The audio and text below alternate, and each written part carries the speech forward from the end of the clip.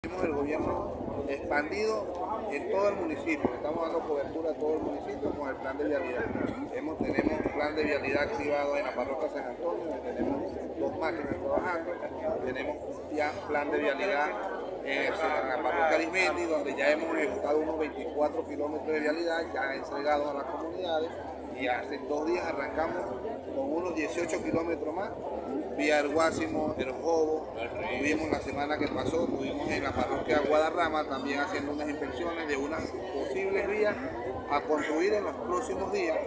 También estuvimos dándole cobertura a la parroquia Guadarrama con el tema del agua potable, activando pozos, bombas y la semana que viene nos trasladaríamos a la parroquia La Unión, que es la que nos queda todavía, que vamos a comenzar allá con el plan de realidad. Hemos estado dándole cobertura a todo el municipio con el plan de realidad. Y en la parte del área de la salud también. Y...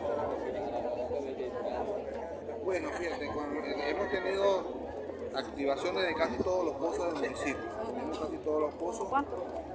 En cada parroquia tenemos cuatro o cinco pozos, ya están activos todos.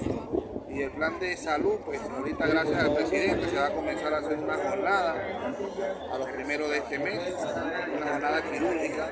Va a estar allí trabajando con FunSalud también y con la alcaldía y el Ministerio de Salud. Más o menos, ¿con qué clase de cirugía, qué clase de Medianas, medianas, cirugía mediana. Y con respecto, para reforzar un poquito lo que es la distribución de, de, de combustible para los motores,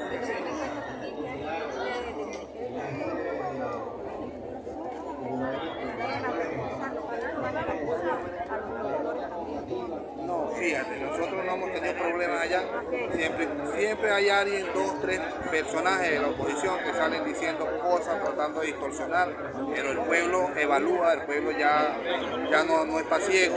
Nosotros entregamos combustible toda la semana.